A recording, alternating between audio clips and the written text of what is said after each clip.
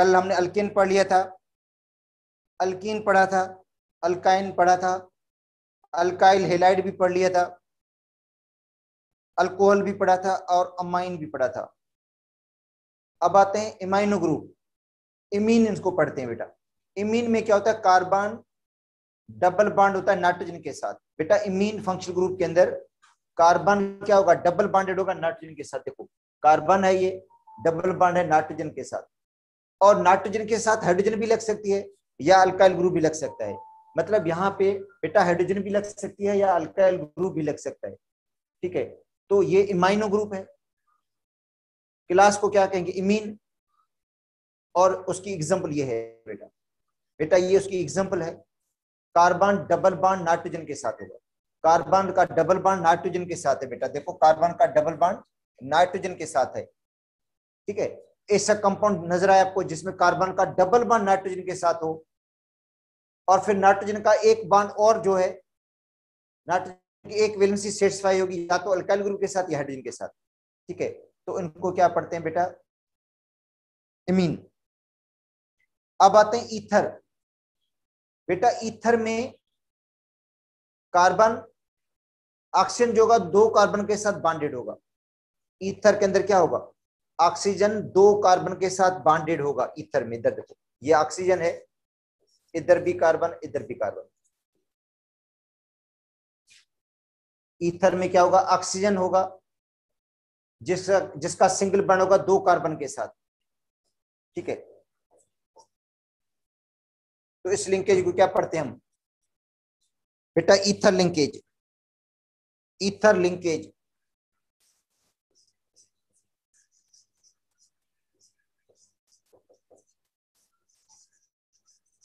पढ़ा हुआ आपने कि ईथर है ये बेटा ऑक्सीजन दो कार्बन के साथ सिंगल बॉन्ड बना रही है। तो क्लास ऑफ़ कंपाउंड को क्या कहेंगे हम? ईथर कहेंगे।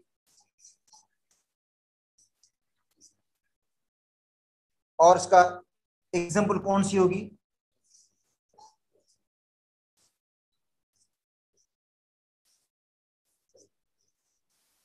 बेटा ये इसकी एग्ज़ाम्पल है। डाइथल ईथर डाइथल ईथर हो गया dimethyl ether di isopropyl ether इस तरह डाइमिथल ईथर ठीक है बेटा ईथर में जो ऑक्सीजन है दो कार्बन के साथ बेटा बॉन्डेड है ईथर के बाद देखो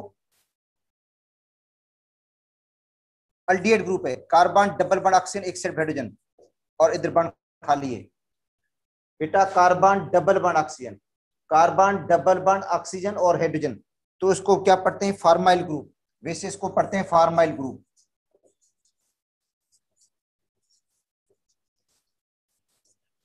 ये बेटा अल्डिहाइड है।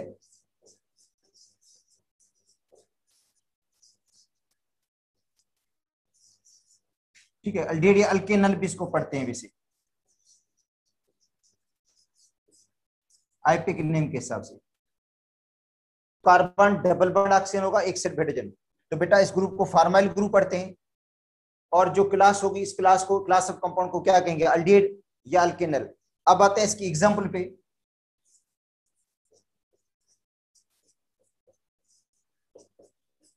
बेटा ये इसकी एग्जांपल है।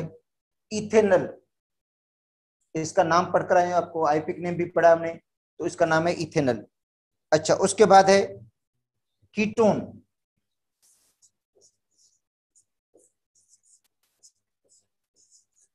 बेटा कार्बन डबल बॉन्ड ऑक्सीजन दोनों से अल्काइल ग्रुप लगेंगे। तो कार्बोनाइल ग्रुप है ये।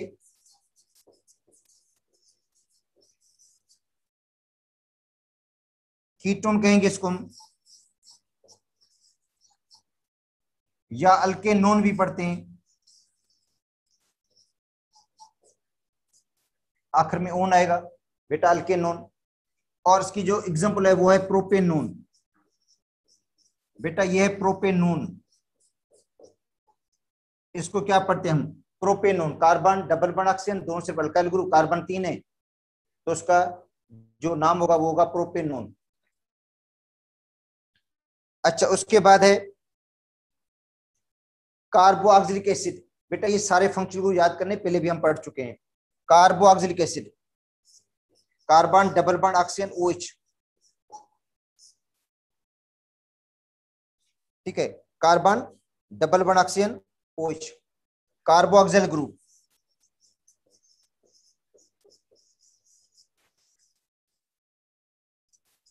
बेटा, ये कार्बोक्सिल ग्रुप है।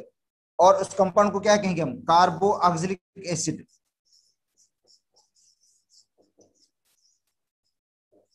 क्या पढ़ेंगे बेटा? Carboxylic acid. या इसको पढ़ेंगे अल्केनोइक एसिड, आईपिक नेम।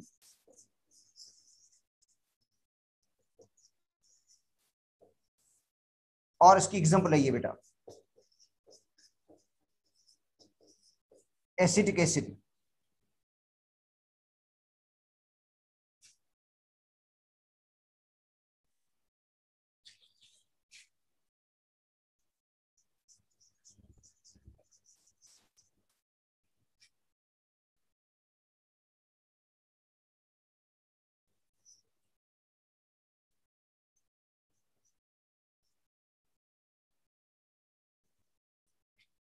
बेटा फार्मूला है, उसके बाद नेम उसके बाद है क्लास ऑफ़ कंपाउंड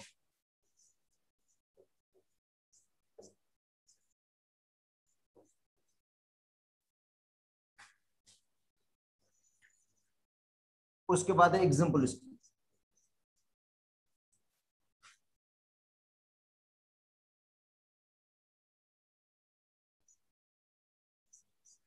ठीक है?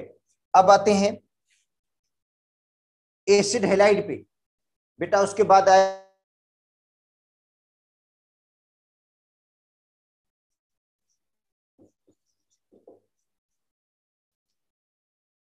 और बेसिस को हम पढ़ते हैं। Alkanoyl halide. बेटा, अल्केनॉयल हेलाइड पढ़ते हैं, आईपिक नेम में। जैसे देखो, इसका नाम लिखा हमने ethanoyl chloride. Propanoyl chloride butanoyl chloride O Y लग जाएगा। इनका आईपिक नेम में देखो बेटा ओ वाई एल लगेगा ओ वाई एल लगेगा। उसके बाद आएगा हेलाइड अच्छा उसके बाद इसका दूसरा जो आइसोमर है सॉरी अपना है डेरिवेटिव वो है अमाइड बेटा, ये भी कार्बोक्सिलिक एसिड का डेरिवेटिव है। पढ़ाया था आपको मैंने लास्ट में कि कार्बोक्सिलिक एसिड से ड्राई ड्राई हुआ ये। एसिड अमाइड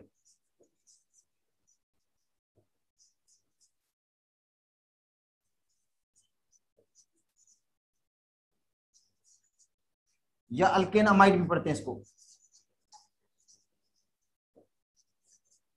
बेटा अल्केन अमाइड भी पढ़ाया जाता है।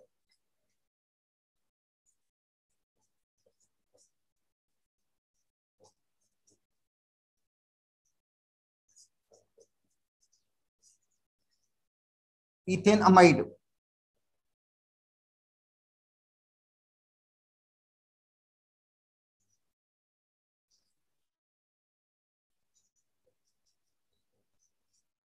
इथेन अमाइड हो गया।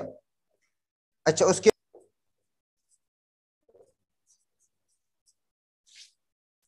डेरिवेटिव है।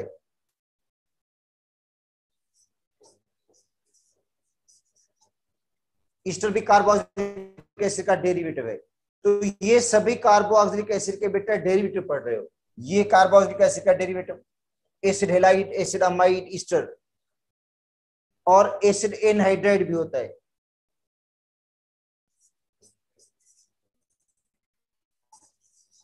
ईस्टर, इसको जनरली हम पढ़ते हैं। Alkyl अल्केनोइट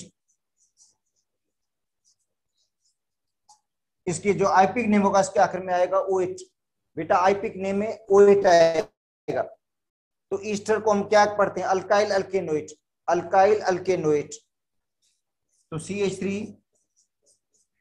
C double bond O C two five तो इसका नाम क्या हो जाएगा बेटा? Ethyl ethanoate IUPAC name. और कॉमन नेम क्या हो जाएगा? Ethyl acetate. बेटा, इथाइल एसिटेट। और उसके बाद है थाईओल बेटा, ये थाईओल जो है, जैसे ओच अल्कोहल है तो इस तरह जब हाइड्रोजन को निकालकर एस एच लगा देंगे तो उसको पढ़ेंगे थाइओल एस एच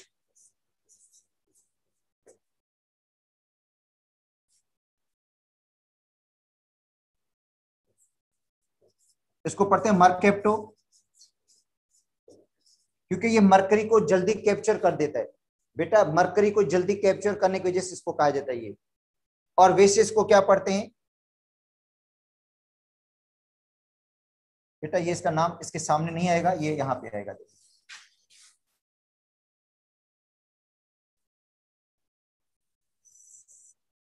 थाईओल बेटा ये थाईओल है। वैसे मर्केप्टो भी पढ़ा जाता है इसको। थाईओल इसमें, देखो C H three, C H two, hydrogen sulphide लग जाएगा। अल्कोहल में ओच लगेगा। अल्कोहल के अंदर ओच लगता है, इसके अंदर लगेगा हाइड्रोजन सल्फाइड बेटा हाइड्रोजन देखो सल्फाइड लगा है। तो इसको पढ़ेंगे इथेन थाईओल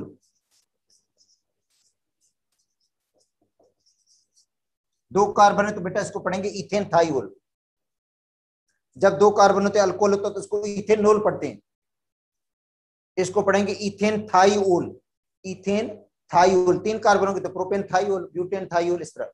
मीथेन थाईओल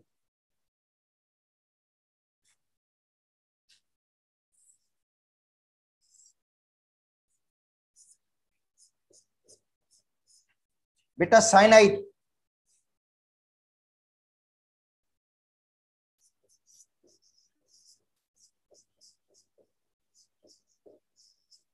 तो साइनो या नाइट्राइल? बेटा, साइनो या क्या पढ़ेंगे इसको नाइट्राइल और आईपिक नेम क्या होगा इसका?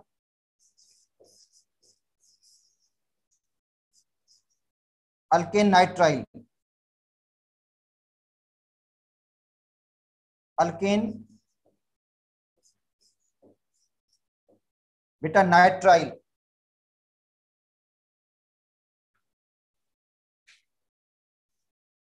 अल्केन नाइट्रल इसको पढ़ते हैं। C H three C H two अच्छा C H three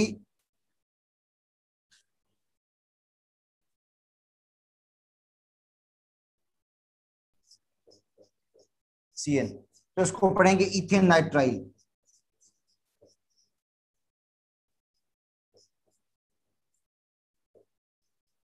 बेटा इथेन नाइट्राइल पढ़ेंगे इसको।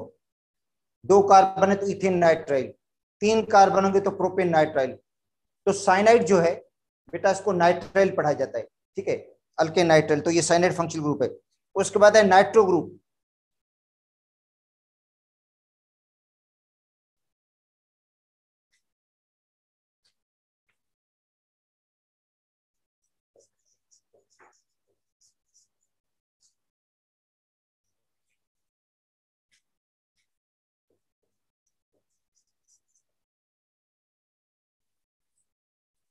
बेटा फॉर्मूला है उसके बाद नेम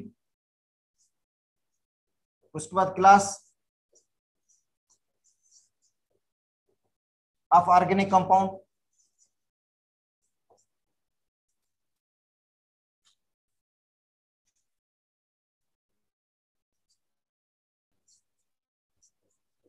उसके बाद स्ट्रक्चर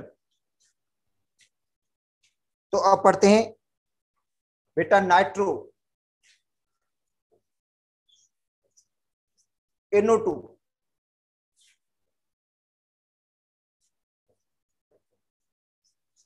तो ये नाइट्रो ग्रुप है। ठीक है। बेटा क्या कहेंगे इसको? नाइट्रो कंपाउंड्स और C H three C H two NO two इसको पढ़ते हैं नाइट्रो इथेन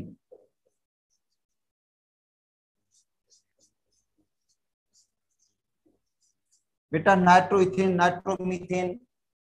नाइट्रो बेंजीन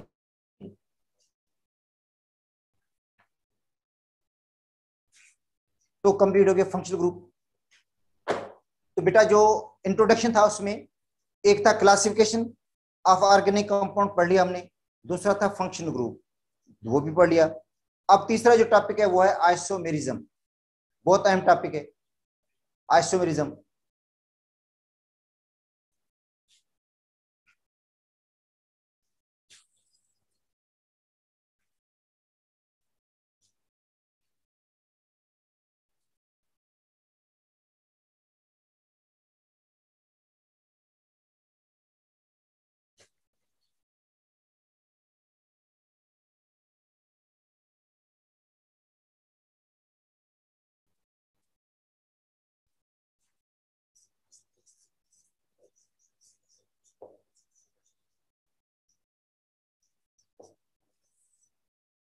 बेटा, आइसोमरिज्म के compounds which have same molecular formula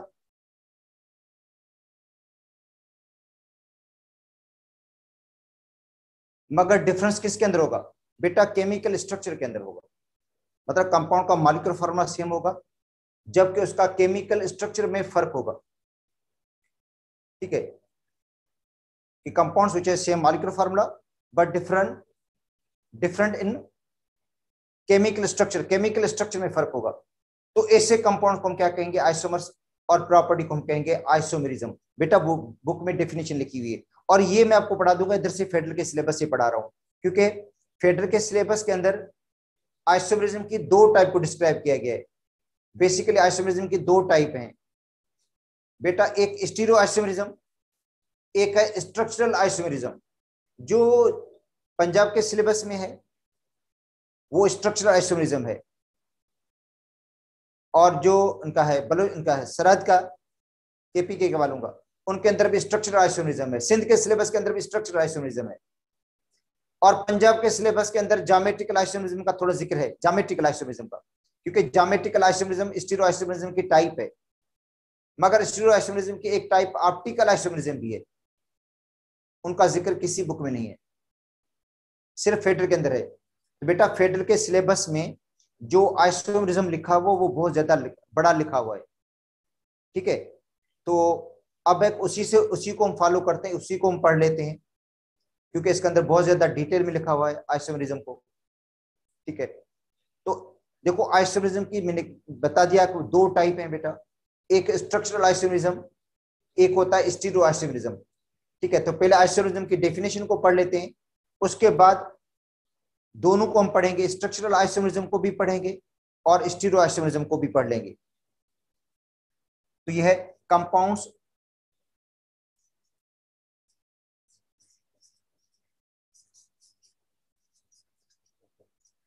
which have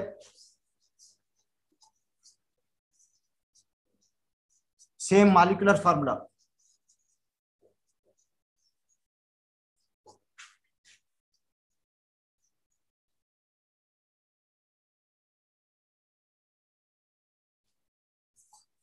but difference in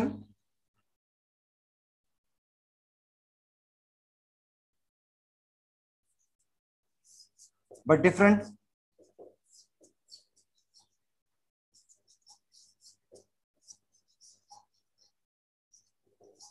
chemical structure ठीक है? मालिकुलर फार्मा तो सेम होगा बट डिफरेंस किसमें होगा? उसके केमिकल स्ट्रक्चर में डिफरेंस होगा। मालिकुलर फार्मा बेटा सेम है जबकि जो केमिकल स्ट्रक्चर होगा, उसके अंदर डिफरेंस है। तो ऐसे कंपाउंड को हम क्या कहेंगे? आइसोमर्स और जो फिनामिना होगा, उसको हम कहेंगे आइसोमेरिज्म ठीक है? और जो डिफरेंस है केमिकल स्ट्रक्चर के अंदर, बेटा, जो केमिकल स्ट्रक्चर में डिफरेंस है, वो है due to different arrangement of the atoms देखो केमिकल स्ट्रक्चर में फ़र्क क्यों है? Different arrangement of the atoms atom की जो अरेंजमेंट होगी, वो डिफरेंट होगी।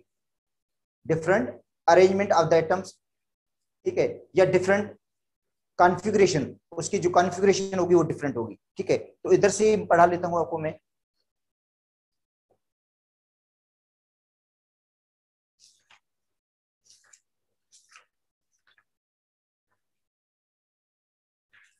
तो ये मिलेगा बेटा, उसके दूसरे चैप्टर में मिलेगा आपको। एक था इसका इंट्रोडक्शन वाला चैप्टर उसके अंदर दो ही टॉपिक थे। अब उसके बाद वाला जो चैप्टर उसके अंदर आइसोमेरिज्म आ जाता है पेज नंबर 90 पे। कि compounds which have same molecular formula, but different chemical structure. Molecular formula same है, जबकि केमिकल जो स्ट्रक्चर है, उनका डिफरेंट है। ठीक है? तो ऐसे कंपाउंड को क्या कहेंगे? आइसोमर्स और प्रॉपर्टी को क्या कहेंगे? या फिनोमेना को हम कहेंगे आइसोमरिज्म मालिकुलर फार्मूला सेम हो, बेटा मालिकुलर फार्मूला सेम हो। जब मालिकुलर फार्मूला सेम होता है तो परसेंटेज कंपोजिशन भी सेम होती है। बेटा मालिकुलर फार्मूला सेम है ना?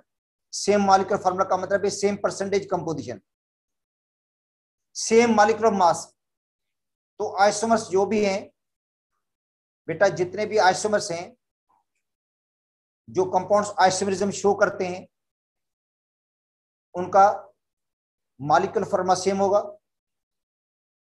ठीक है मालिकुलर मास भी सेम होगा। परसेंटेज कंपोजिशन भी सेम होगी। और डिफरेंस किसके अंदर होगा? केमिकल स्ट्रक्चर के अंदर। आर कॉल आइसोमर्स अच्छा डिफरेंस क्यों है इसके अंदर? बेटा डिफरेंस है क्यों? Different arrangement of the atoms different arrangement होती है एटम्स की। एटम की जो अरेंजमेंट है, वो क्या होती है? डिफरेंट होती है, जिसकी वजह से अंदर केमिकल स्ट्रक्चर के अंदर डिफरेंस आ जाता है। अब आते हैं बेटा टाइप्स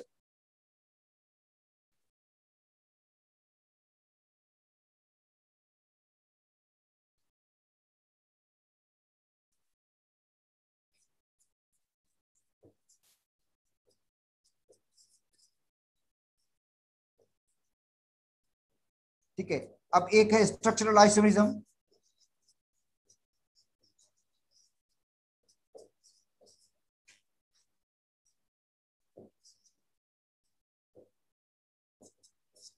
दूसरा होता है स्टीरियो आइसोमेरिज्म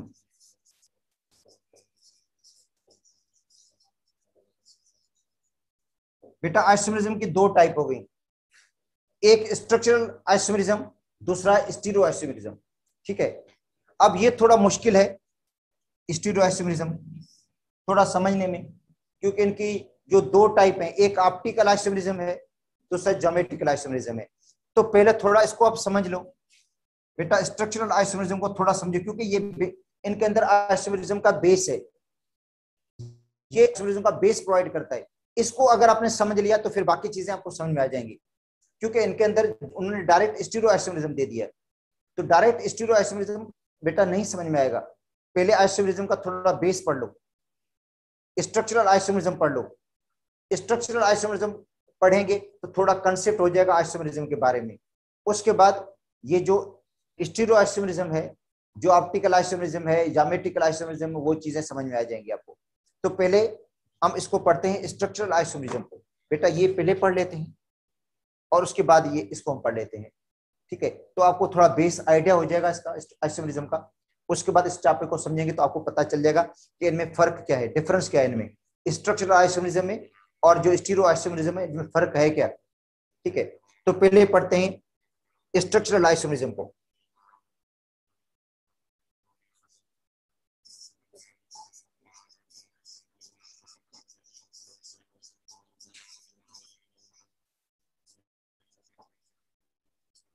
बेटा स्ट्रक्चरल आइसोमेरिज्म नाम से समझ गए होंगे आप लोग कि compounds which are same molecular formula but different structural formula compounds हैं जिनका मालिकुलर फार्मूला तो सेम है मॉलिक्यूलर मास तो सेम है परसेंटेज कंपोजिशन तो सेम है बट डिफरेंट स्ट्रक्चरल फार्मूला जबकि उनका जो स्ट्रक्चरल फार्मूला है, वो डिफरेंट है। ठीक है?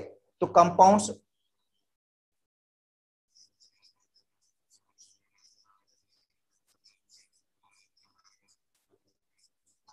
पूछे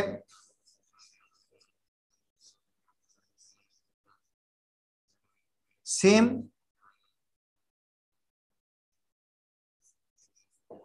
molecular formula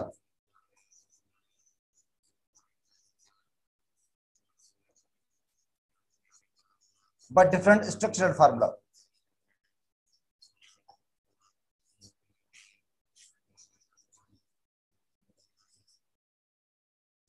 compounds होंगे। बेटा, जिनका मालिक्यूलर फार्मूला तो सेम है, जबकि स्ट्रक्चरल जो फार्मूला है वो डिफरेंट है। मालिक्यूलर फार्मूला सेम है स्ट्रक्चरल फार्मूला डिफरेंट है। तो इससे कंपाउंड को क्या कहेंगे हम? आइसोमर्स और प्रॉपर्टी को हम कहते हैं आइसोमरिज्म अब आते हैं एग्ज़ाम्पल पे। ठीक है? बेटा, एक कंपाउंड है। C two H six O ये कंपाउंड है।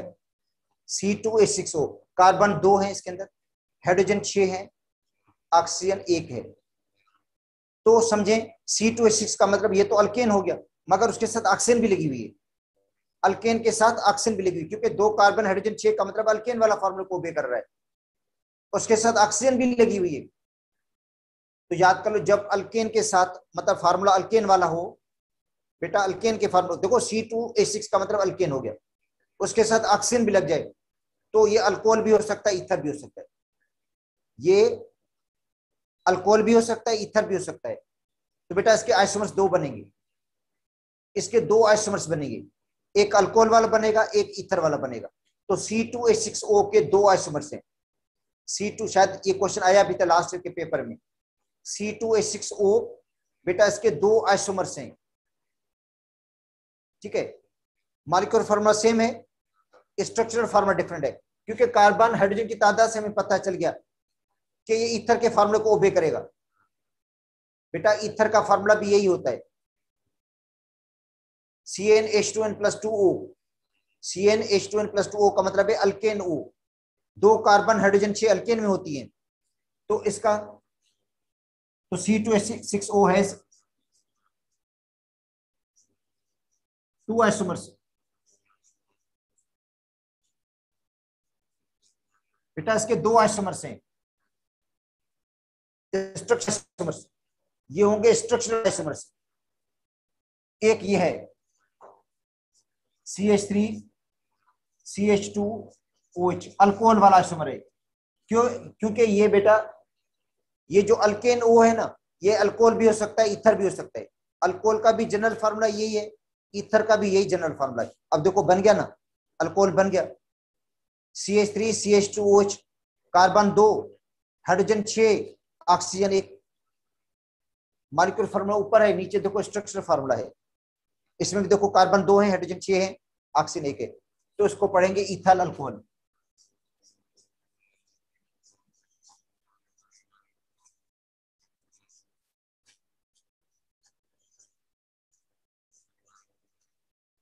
या इथेनॉल इसका दूसरा isomer C H three O C H three बेटा डायमिथल इथर है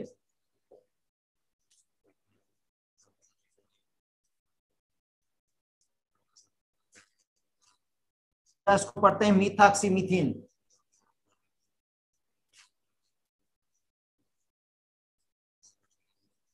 मीथाक्सी मीथिन आइपिक नेम तो बेटा इसके दो आइसोमर्स हैं। मुझे किस तरह पता चला कि दो आइसोमर्स हैं इसके? क्योंकि एक्चुअली इसका जो जनरल फार्मूला है ना सी टू ए सिक्स ओ बेटा अल्केन ओ ये बता रहे कि ये अल्कोहल भी हो सकता है और ईथर भी हो सकता है। तो ईथर तो ये इनिशियल ईथर है। ये समझे ईथर ईथर का पहला मेंबर है। ठीक है? इसके और कोई एस्टमस बनेंगे नहीं, एक ही बनेगा ये। और ये अल्कोहल है। अल्कोहल में भी दो कार्बन है। ठीक है? अगर मैं ओच यहाँ पे लगा दू या ओच यहाँ पे लगा दू, कोई फ़र्क नहीं पड़ता। नाम तो वही होगा। अगर मैं इथान अल्कोहल में, बेटा ओच ग्रुप यहाँ पे लगा दूँ तो भी वही इथेनॉल होगा। या ओच ग्रुप यहाँ पे लगा दूँ, वो भी इथेनॉल होगा। कोई फ़र्क नहीं पड़ेगा। हाँ लंबी कोई चेन होती, कोई लॉन्गेस्ट चेन होती, ओच ग्रुप का फ़र्क पड़ सकता था कि भाई ओच ग्रुप वन पे लगा हुआ है और दूसरे स्ट्रक्चर में ओच ग्रुप टू पे लगा हुआ है। मगर यहाँ तो कोई फ़र्क नहीं पड़ेगा क्योंकि कार्बन ही दो हैं। तो बेटा ओच यहाँ पे लगाओगे तो भी अल्कोहल हो जाएगा, इस पे लगाओगे तो भी अल्कोहल हो जाएगा।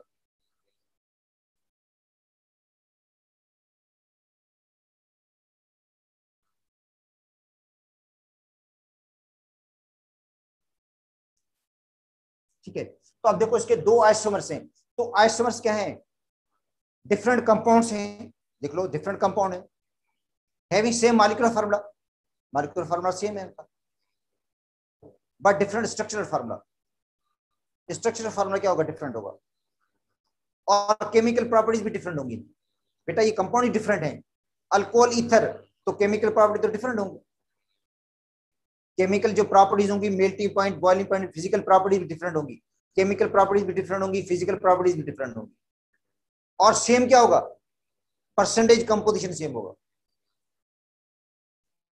देखो बेटा, इसमें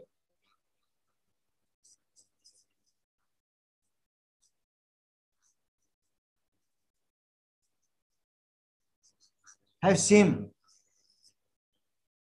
ये बात कर रहा हूँ मैं स्ट्रक्चरल आइसोमरिज्म ठीक है?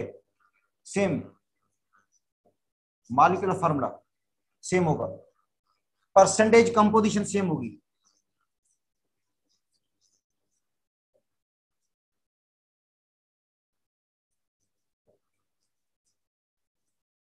मालिकुलर मास सेम होगा। बेटा देखो आइसोमर्स ऊपर मैंने सेम लिख दिया है कि इनका सेम क्या हो सकता है? Molecular formula same percentage composition मतलब कार्बन हाइड्रोजन ऑक्सीजन का परसेंटेज सेम होगा इनमें, ऊपर वालों में। मालिकुलर मास सेम है। मालिकुलर मास क्या है? सेम है। ठीक है।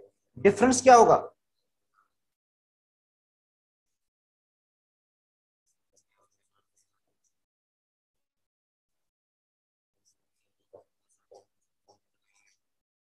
बेटा डिफर किसमें करते हैं?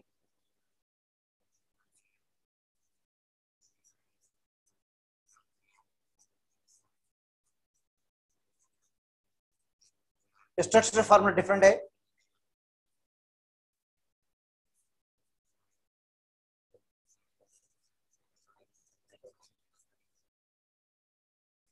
केमिकल पर डिफरेंट होगी।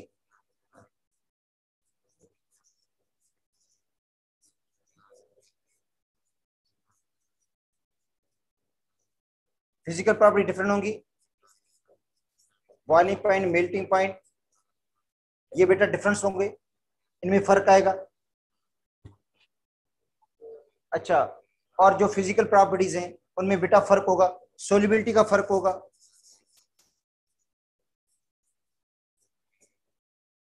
सोलिबिलिटी में फ़र्क होगा। अच्छा वेपर प्रेशर का फ़र्क होगा। अब ऊपर वाले कंपाउंड देख लो। बेटा, ऊपर वाले कंपाउंड को आप देख लो। इसका बॉइलिंग पॉइंट ज़्यादा है। हालाँकि कार्बन दोनों में बराबर है। दोनों में कार्बन बराबर है, मगर ऊपर वाले अल्कोहल का बॉइलिंग पॉइंट ज़्यादा होगा। अल्कोहल्स का बॉइलिंग पॉइंट बेटा ज़्यादा है। ठीक है? और बॉइलिंग पॉइंट भी ज़्यादा है। अल्कोहल की सोलिबिलिटी वाटर के अंदर ज़्यादा होती है। मगर वेपर प्रेशर लो होगा, क्योंकि बॉइलिंग पॉइंट जिसका ज़्यादा होता है, उसका वेपर प्रेशर लो हो जाता है। ठीक है? तो बेटा आइसमस में जनरल प्रॉपर्टीज़ बता रहा हूँ। ये डिफरेंस प्रॉपर्टीज़ हैं। बेटा, ये डिफरेंट प्रॉपर्टीज़ हैं। डिफरेंट प्रॉपर्टीज़ हैं। और ये सेम प्रॉपर्टीज़ हैं।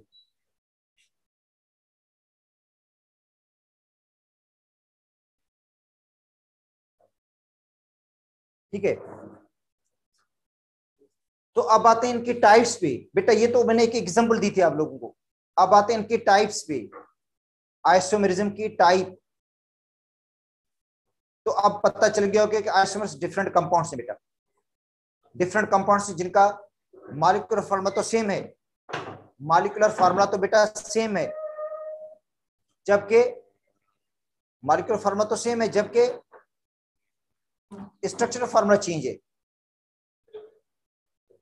स्ट्रक्चर जो फार्मूला वो चेंज है, क्योंकि एटम की अरेंजमेंट चेंज हो गई है, इसलिए।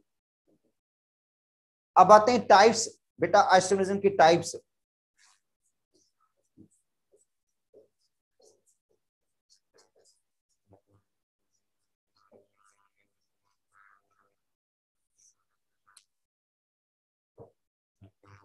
आइसोमेरिज्म है और उनकी टाइप्स बेटा।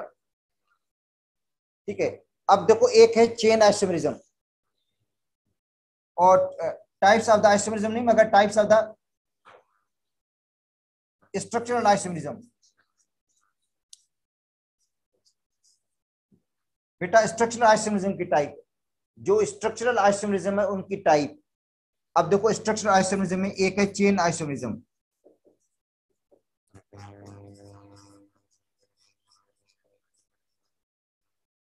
बेटा, एक चेन आइसोमेरिज्म होता है।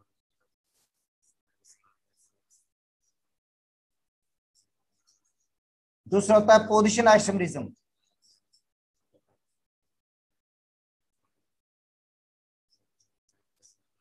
बेटा, एक चेन आइसोमेरिज्म एक है position isomerism chain isomerism position isomerism sorry functional group isomerism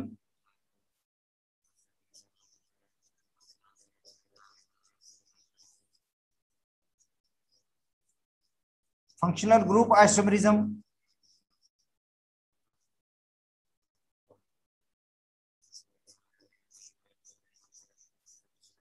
Metamerism बेटा, ये है टाइप्स ये स्ट्रक्चरल आइसोमेरिज्म के बेटा टाइप्स हैं। Chain isomerism position isomerism functional group isomerism और मेटामेरिज्म ठीक है? अब आते हैं, इनको पहले एक्सप्लेन करते हैं किसको? बेटा चेन आइसोमरिज्म को। चेन आइसोमरिज्म पढ़ लेते हैं पहले।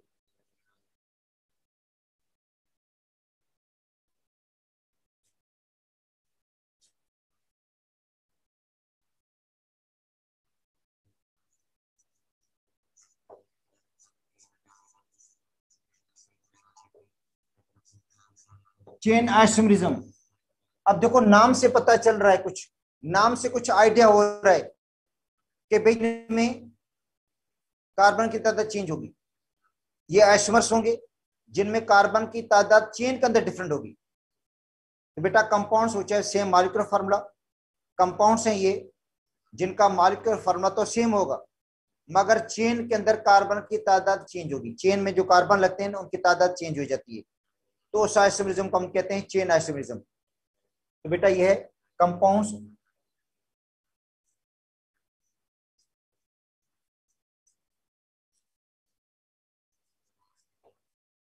which have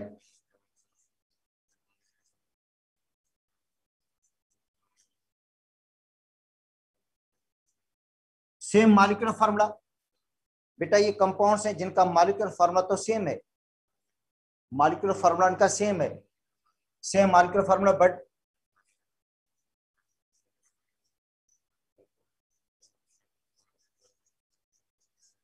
different number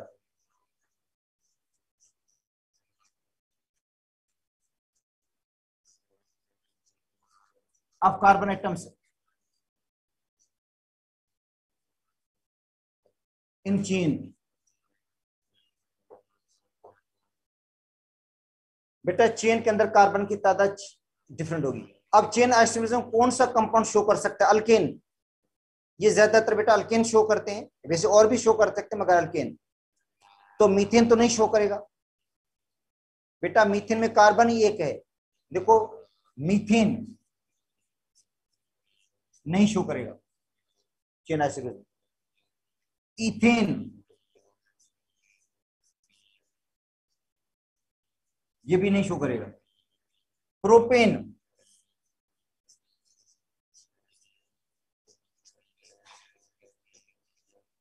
नहीं शो करेगा। तो बेटा मीथेन, इथेन प्रोपेन ये तो बिल्कुल ही नहीं शो करेंगे चेन आइसोमरिज्म तो चेन आश्रम स्टार्ट होगा ब्यूटेन से। बेटा ब्यूटेन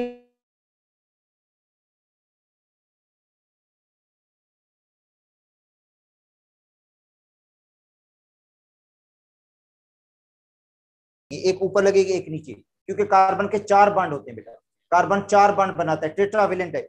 एक बांड ऊपर बनेगा, एक नीचे बनेगा। अच्छा इसके साथ दो हाइड्रोजन आखिर वाले के साथ तीन हाइड्रोजन तो ये हो गया नॉर्मल ब्यूटेन बेटा नॉर्मल ब्यूटेन अब ये हो जाएगा आइसोब्यूटेन ब्रांच लगेगी इधर। सेकंड कार्बन की। हाँ अब इसके बांड कैसे पूरे करने हैं? बेटा, कार्बन टेट्रावेलेंट चार बांड करने हैं।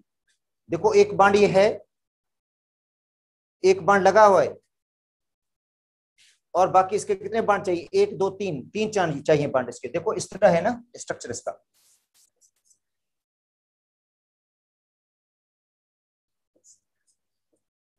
यहाँ पे हाइड्रोजन यहाँ पे हाइड्रोजन यहाँ पे हाइड्रोजन ठीक है?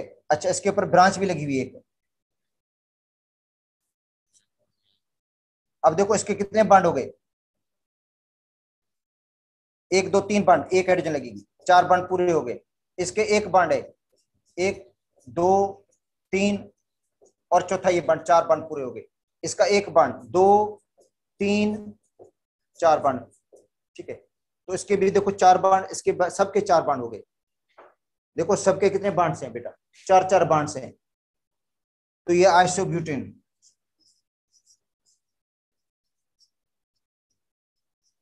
या टू मिथाइल प्रोपेन।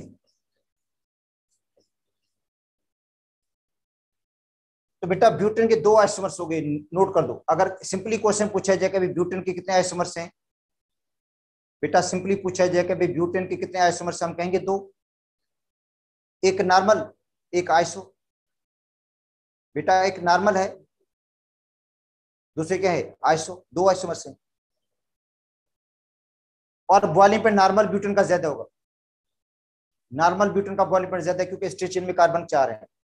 बेटा स्ट्रेट चेन में कार्बन की तादाद चार है। इसके अंदर जो स्ट्रेट चेन है, इसके अंदर तीन कार्बन है। तो नॉर्मल ब्यूटेन का बॉइलिंग पॉइंट ज़्यादा होगा।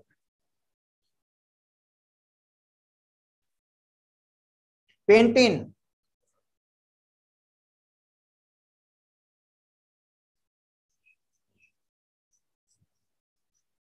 बेटा pentane C five H twelve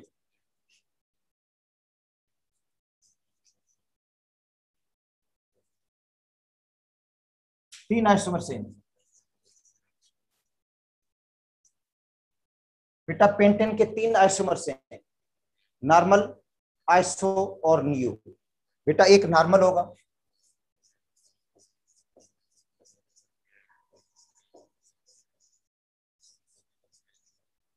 इन पेंटेन एक आइसो हो जाएगा।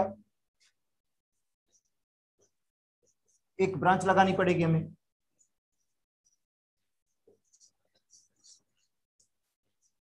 एक न्यू है,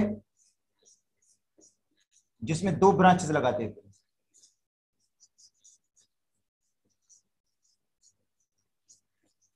अब इनमें हाइड्रोजन फिल कर देते हैं। बेटा, इनके अंदर हाइड्रोजन की फिलिंग करते हैं हम।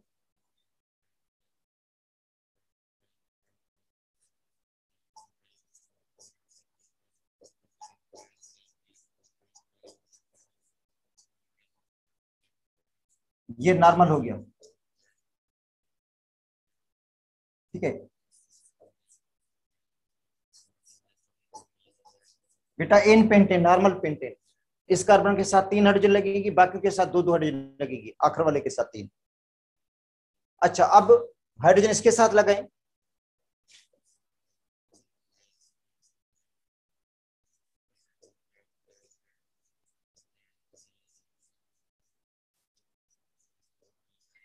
बेटा देखो।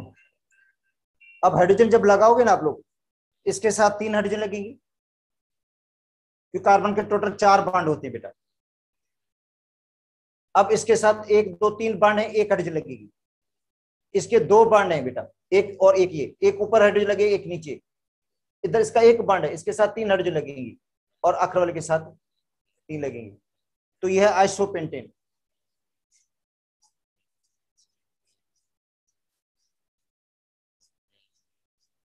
और इसको पढ़ेंगे क्या हम?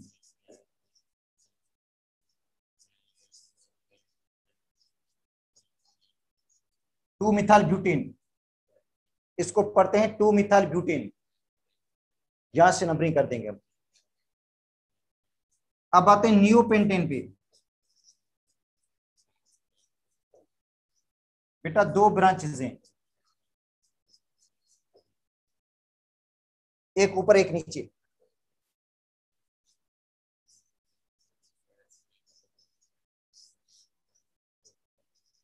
नियोपेंटेन और उसको पढ़ेंगे टू कामा टू, क्योंकि बेटा तीन कार्बन की चेन बनेगी।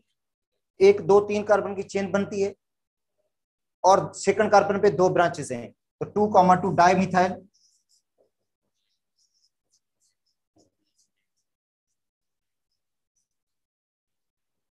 propane ये एक दूसरे का आइसोमर्स हैं। और स्ट्रक्चरल आइसोमर्स हैं। और इसके अंदर स्ट्रक्चर में चेन ही किसके चेन की है। तो ये चेन आइसोमरिज्म। बेटा, चेन आइसोमरिज्म की एग्जांपल हो गई। अब आते हैं hexane.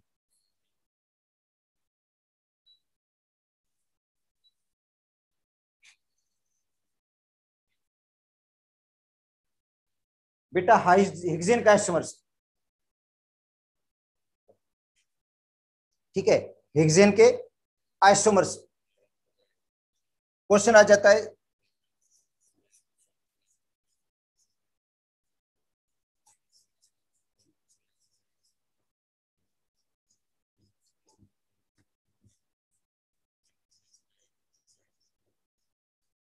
All possible isomers of hexane के जितने पॉसिबल आइसोमर्स हेक्सेन के वो बनाओ।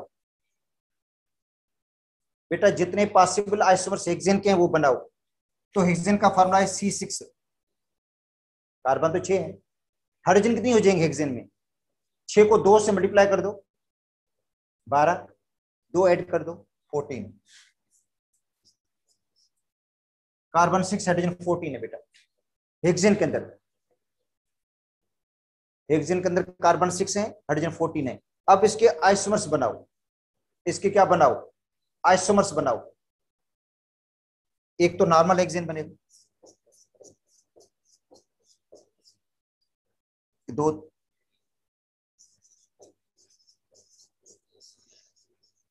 Normal hexane. एक तो ये ये बेटा बन गया। अब इसमें हाइड्रोजन लगानी पड़ेगी सिर्फ़ आप दूसरे में पाँच कार्बन की चेन बनाते हैं।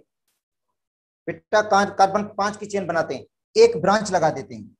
सेकंड पे। इसको कहेंगे मिथाइल ब्रांच तो इसको पढ़ेंगे टू मिथाइल पेंटेन। बेटा हाइड्रोजन खुद लगा देना। इसके अंदर हाइड्रोजन कितनी लगेंगी? हाइड्रोजन लगेंगी 14 इससे ज़्यादा लगेंगी नहीं। और ये टू पर ब्रांच है तो टू पर मिथाइल है समझे पेंटेन एक और आइसोमर्स इसका बनेगा।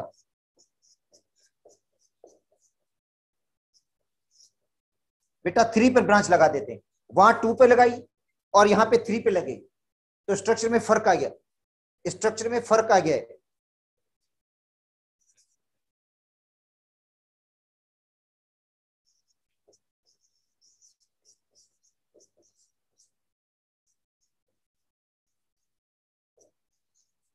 थ्री मिथाल पेंटेन अब यहाँ पे नहीं लगाएँगे हम, क्योंकि यहाँ से नंबरिंग करके टू मिथाल हो जाएगा। अगर यहाँ पे आप लगाओगे ना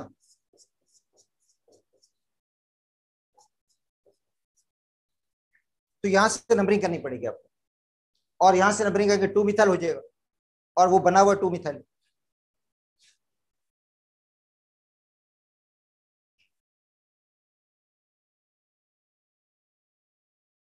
अच्छा अब आते हैं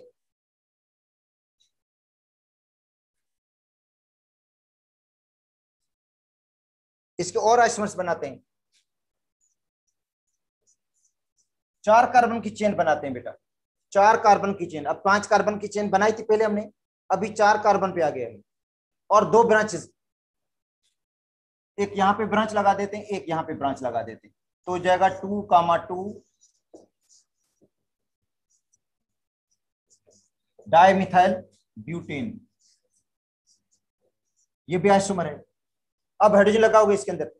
हाइड्रोजन वही फोर्टी लगेंगी। बेटा टू पर दो ब्रांचेज हैं। अब चार की चेन बनाते हैं। एक ब्रांच टू पर लगा देते हैं, एक थ्री पर लगा देते हैं। तो उसका नाम हो जाएगा two comma three dimethyl pentane और डायमिथल ब्यूटेन बेटा two comma three dimethyl butane two comma three dimethyl butane तो पाँच आइसोमर्स देखो हेक्सेन के बन गया, बाकी आपको हाइड्रोजन लगानी है, ठीक है? तो स्ट्रक्चरल आइसोमरिज्म हो गया है। अब कल हम पढ़ेंगे पोजिशन को पढ़ेंगे फंक्शनल ग्रुप को पढ़ लेंगे मेटामेरिज्म को, ठीक है? उसके बाद आगे टाटोमेरिज्म आएगा रिंग चेन आइसोमेरिज्म आएगा, वो पढ़ लेंगे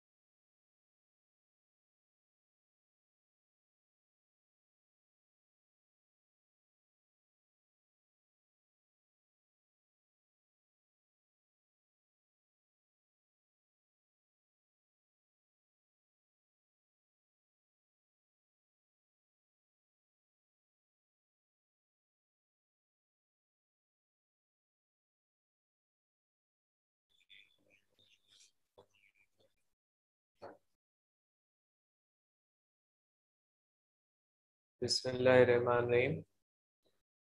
देखिए बेटा, आज हम थोड़ा ओवरव्यू करते हैं law of radio active decay का। उसके बाद जो उसके क्वेश्चन हैं, जैसे केपी के अंदर दिए गए हैं या पंजाब के अंदर दिए गए या उस तरह से छोटे छोटे कॉमन क्वेश्चन जो हैं, वो दो तीन करते हैं ताकि उनको करने का सॉल्व करने का तरीका आपके माइंड में आ जाए।